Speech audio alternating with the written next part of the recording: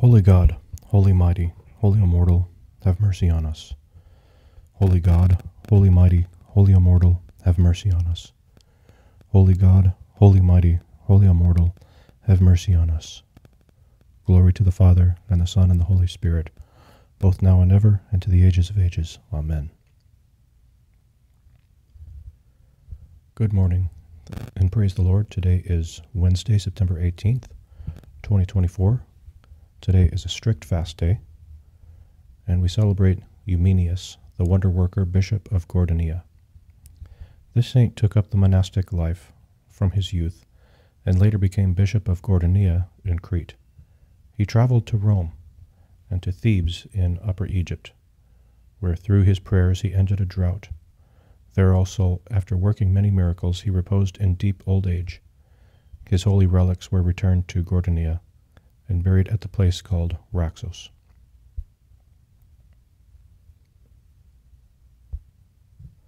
All Holy Trinity, have mercy on us. Lord, forgive us our sins. Master, pardon our transgressions.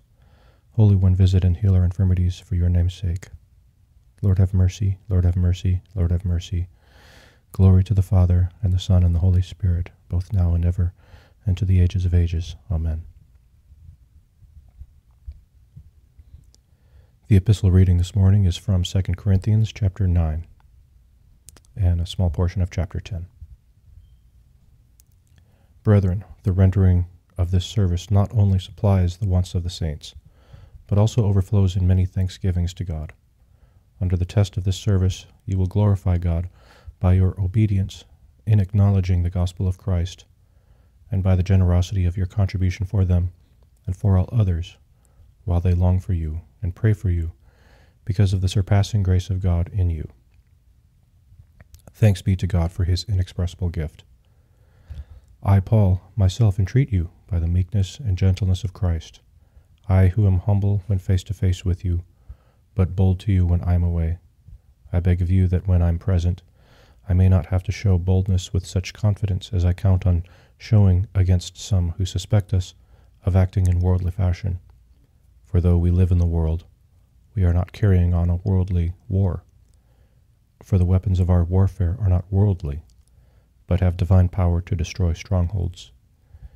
We destroy arguments and every proud obstacle to the knowledge of God, and take every thought captive to obey Christ, being ready to punish every disobedience when your obedience is complete. Look at what is before your eyes.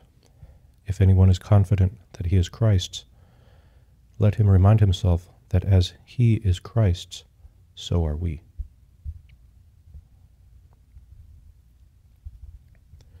The Gospel reading is from the Gospel according to Luke, chapter 4, verses 1 through 15.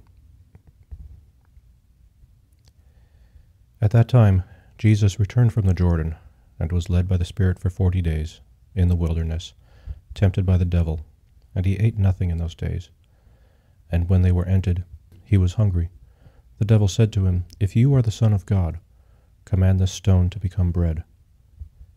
And Jesus answered him, It is written, Man shall not live by bread alone.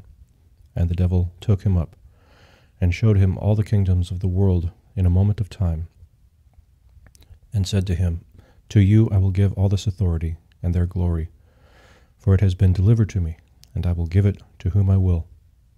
If you then will worship me, it shall all be yours. And Jesus answered him, It is written, You shall worship the Lord your God, and him only shall you serve. And he took him to Jerusalem, and set him on the pinnacle of the temple, and said to him, If you are the Son of God, throw yourself down from here.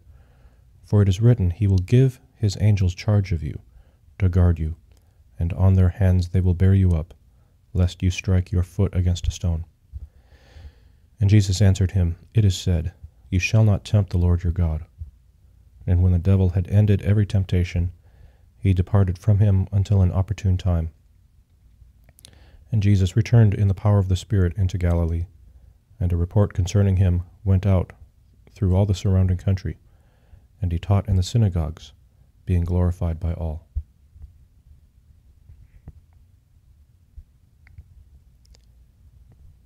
Heavenly King, Comforter, Spirit of truth, present everywhere, and filling all things, treasury of blessings and giver of life, come and abide in us. Cleanse us from every stain and save our souls, gracious Lord.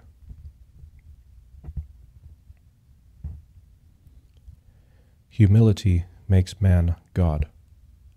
Pride made the angels demons. Humility will open the doors of paradise, while pride will close the doors of paradise. That's a quote attributed to Saint Evenman in 1999, fairly recent. Grace, mercy, and peace be unto you from God the Father and from our Lord Jesus Christ, the Son of the Father, in truth and love. My name is James Newcomb. Thank you for joining us this morning, Wednesday, September 18th, 2024, and we will be with you again tomorrow. We will close, as we do every morning, with our uh, with the Lord's Prayer. Our Father, who art in heaven, hallowed be thy name. Thy kingdom come, thy will be done, on earth as it is in heaven. Give us this day our daily bread. Forgive us our trespasses, as we forgive those who trespass against us. Lead us not into temptation, but deliver us from the evil one. For thine is the kingdom, and the power, and the glory forever. Amen.